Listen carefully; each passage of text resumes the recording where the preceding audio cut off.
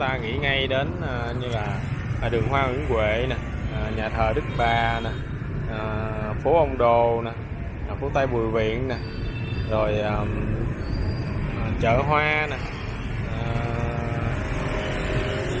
đường Hoa Phú Mỹ Hưng nè đó, và để à, à, khám phá những cái địa điểm đó thì hôm nay em mời cô chú anh chị và các bạn chúng ta cùng à, khám phá một cái à, khu đó là à, khu phố ông Đồ và khu phố ông Đồ này à, nằm ở vị trí à, đường Duy Tân ngày xưa cũng như là đường à, Phạm Ngọc Thạch ngày nay. Nơi đó có siêu thị Diamond Plaza và chúng ta hiện tại đang có mặt ở đây là đường Lê Duẩn hướng về sở thú Thảo Cầm Viên Sài Gòn. Và về Sài Gòn bây giờ là 5 giờ chiều 5 giờ chiều ngày 9 9 tháng 1 năm 2020 và ngày âm lịch ở dưới cũng là ngày 15 rồi. Khoảng chừng ờ, 10 ngày nữa thôi là Sài Gòn sẽ nhộn nhịp với những cái sắc màu hoa uh, hoa Tết đó. Và theo hướng này ờ, chúng ta sẽ đi về Dinh Độc Lập, Dinh Thống Nhất. Con đường ngày nay rất là nhộn nhịp với uh, xe cộ nè. À, ta nhìn qua cánh phải một tí xíu đó là uh, siêu thị Diamond Plaza. Và ờ, ngày nay ờ, trang trí rất là bắt mắt ha. Đó. và bây giờ chúng ta sẽ ờ, đi qua đường để mình cùng khám phá khu phố ông Đồ ngày hôm nay, năm nay như thế nào ha.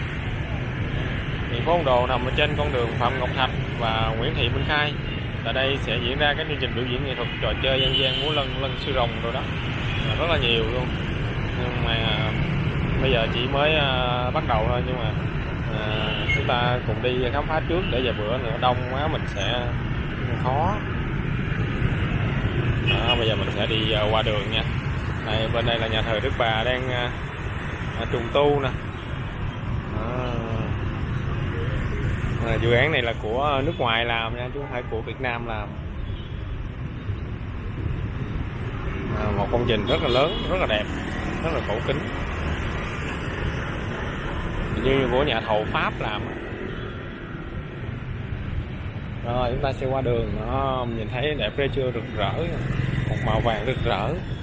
Đó, mình sẽ đi à, một vòng ở đây.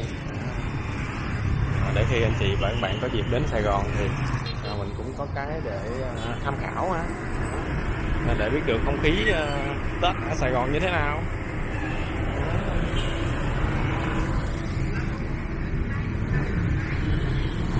à, một hình ảnh của cái Tết dân gian. À, một cái Tết à, cổ truyền của dân tộc. À, một màu một màu vàng à, với một mái nhà tranh. À. À, mình nhìn thấy hình ảnh nó giản dị ghê chứ. Một mái nhà tranh hai quả tim vàng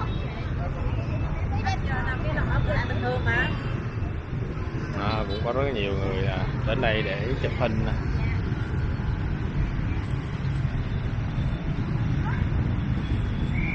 À, chúng ta đi hơi sớm sớm để à, mình nhìn thấy hình ảnh nó rõ hơn và nếu mà đi trễ quá tối thì à, nhìn thấy không rõ cho lắm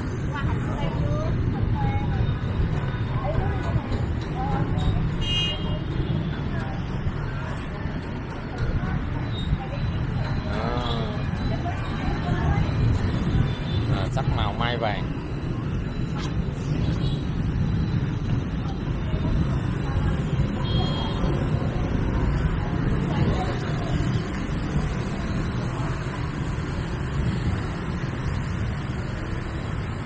À, một hình ảnh của ngày xưa là với à, tiệm tạp hóa à, bán đồ chơi banh cho thiếu nhi.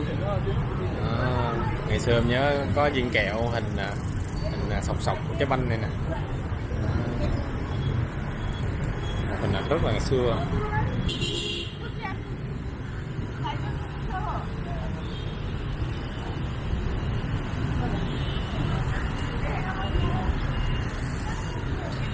À còn có cái à, à cái cớm này nữa nè. À, lâu lắm rồi không có nhớ lại không có thấy. Hồi xưa hay, hay đi học mua một bịch vậy nè. Mà lâu quá không ăn quên cái vị nó luôn rồi những hình ảnh của ờ, ngày xưa gợi nhớ chúng ta à, nhớ về một cái ngày ờ, ngày xưa một cái thời mà còn khó khăn.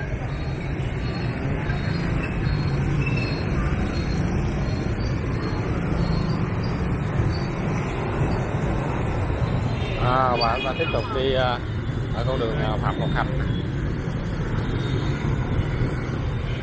à, Sài Gòn buổi chiều với ánh hoàng hôn. Và cái tông màu chủ đạo của những mùa Tết à, đó là một màu vàng à, tông màu của hoa mai vàng đó. Và ở ngoài ngoài à, ngoài Bắc thì à, tông màu của à, màu cây đào màu tím màu hồng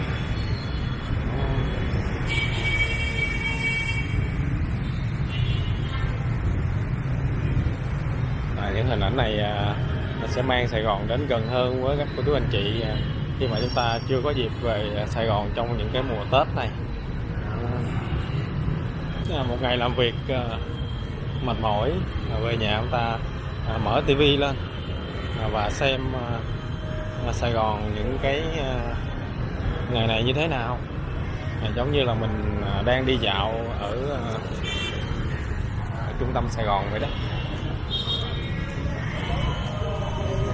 Đó, người ta đang chuẩn bị tất bật những cái à, những cái uh, hoạt động công tác chuẩn bị à, trước trước khi hoạt động diễn ra. Đó, màn hình rất lớn.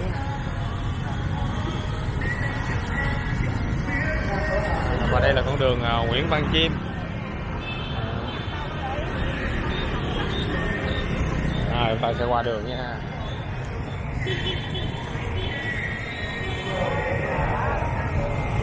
Mà và đây cũng là cơ hội để các à, à, các nhãn hàng các thương hiệu à, quảng cáo.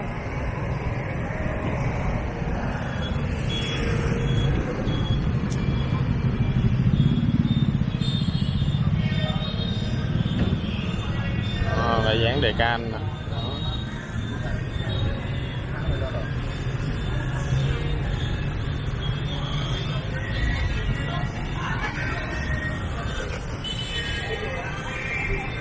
anh đi anh nhớ quê nhà phở bò nguyên miếng đậm đà chinh su à.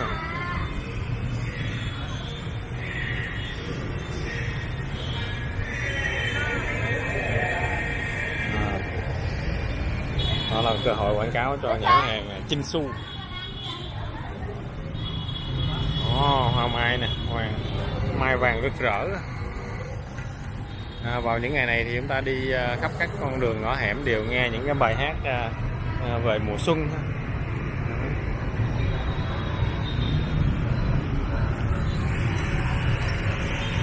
à, ngày xưa khi mỗi dịp à, tết đến xuân về thì các à, các nhà nhiếp ảnh các à, những à, chú mà chụp hình à, chụp hình à, dạo đó à, làm ăn rất là được.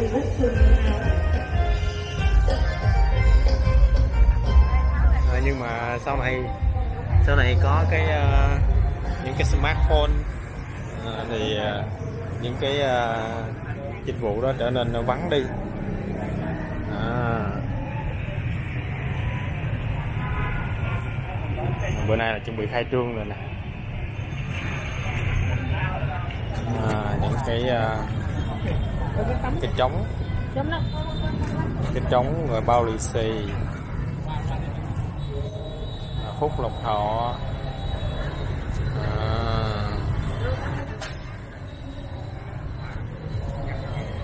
cọ vẽ những cái tranh à, sơn dầu sơn mài. Thầy thầy giúp này ra đi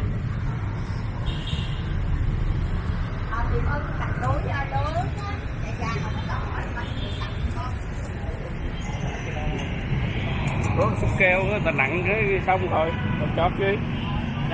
Có súng keo á. Đốt keo á.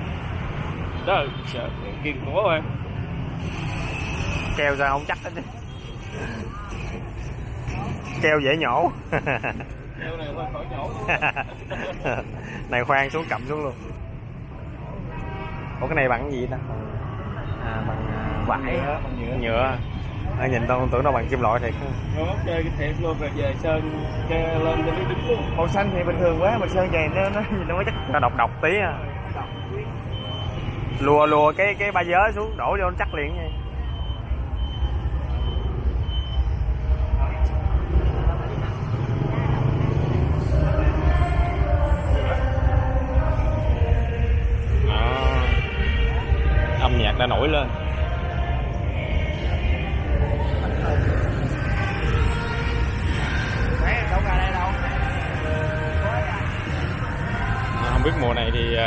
các anh chị à, làm nhiếp ảnh à, chụp hình à, chân dung rồi ở những khu vực này làm ăn thế nào ha?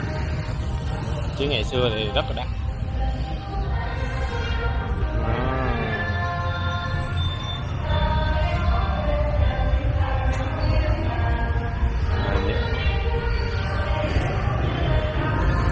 Những hình ảnh này à, à, ngày xưa mình hay thấy những cái nhà xưa nhà cổ này.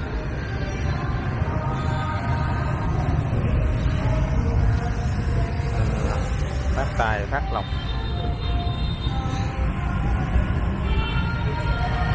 À, nhìn nguyên con đường lúc nãy mình vừa đi qua nè. Ở đây là con đường à, phạm ngọc thạch. Và phía bên kia là quán nhậu quán ăn con gà trống nè. À.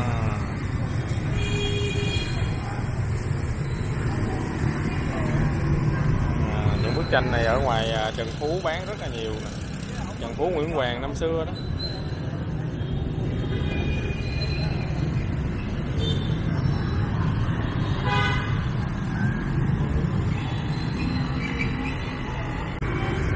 Và em ta đang có mặt ở đây là ngay giao lộ Nguyễn Thị Minh Khai và à, Phạm Ngọc Thạch. À, theo hướng Nguyễn Thị Minh Khai đổ về nè.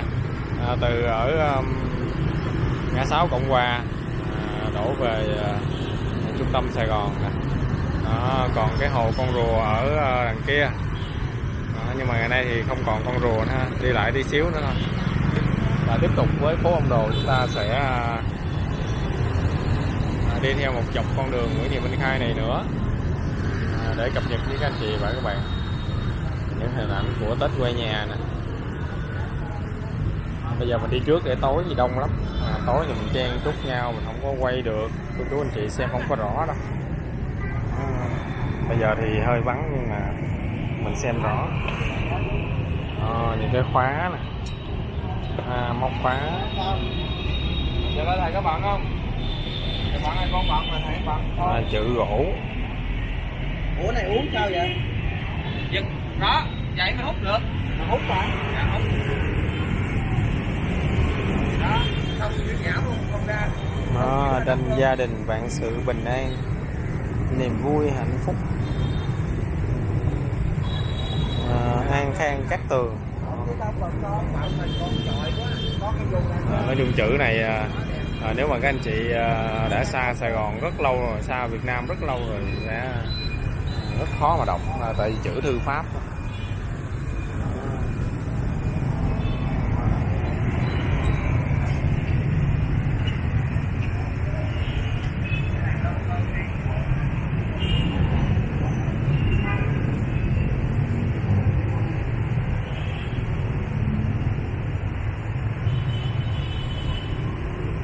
Đó, và bạn đang vẽ nè à, rất là có hoa tai rất là đẹp à, còn đây là à, chú đang trang trí cái à, cái sạp của mình à.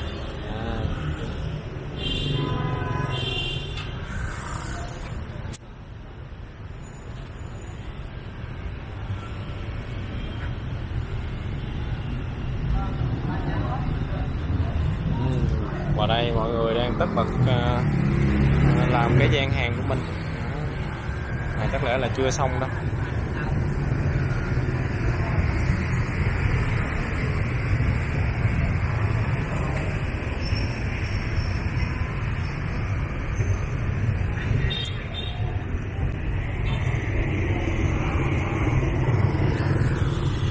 à, để ngày mai chắc ngày mai khai trương ngày mai khai trương thì à, à sẽ à, quay tiếp để à, chia sẻ với các anh chị và các bạn rõ hơn những hình ảnh ở phố ông đồ ha. À, bảo tục ta tiếp tục đi một đoạn nữa xem ở đây họ đang làm gì nha. Cho nó phố ông đồ kéo dài đến đâu? Như mỗi năm thì kéo dài đến hai bà trưng thôi. À, và đây những gian hàng này chuẩn bị nè.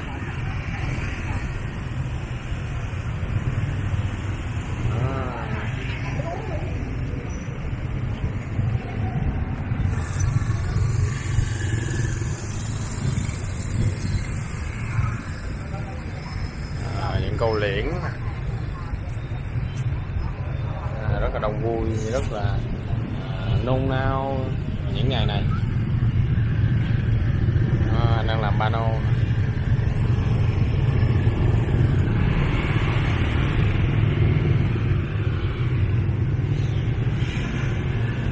à, Sài Gòn buổi chiều giờ tan sở nè rất là đông luôn. Đường xá xe cổ rất là tấp nập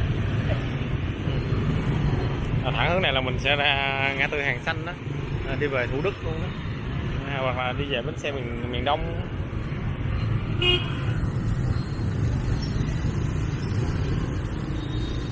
À, còn bên trong nữa nha. À, đây quần áo à, túi sách chứ. À, còn bên trong nữa nè.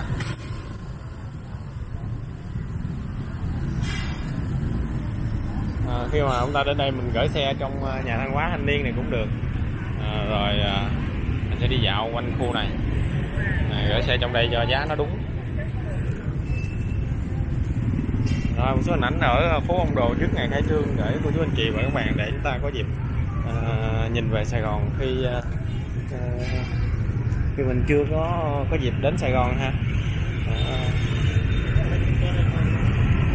và cũng là những hình ảnh tham khảo để các anh chị chuẩn bị sắp đến Sài Gòn nè một trong những ờ, địa điểm đi đi chơi ở Sài Gòn vào mùa Tết này. À, rồi tiếp tục chúng ta sẽ cập nhật cái địa điểm khác nha trong video sau nha. Rồi bây giờ đi ờ, xin chào và em lời bye bye, các cô chú anh chị và các bạn. Rồi, cảm ơn bà con đã quan tâm theo dõi và à, đừng quên nhấn like nhấn uh, subscribe nhấn đăng ký để chúng ta tiếp tục cập nhật những video mới cho ngày mai nha.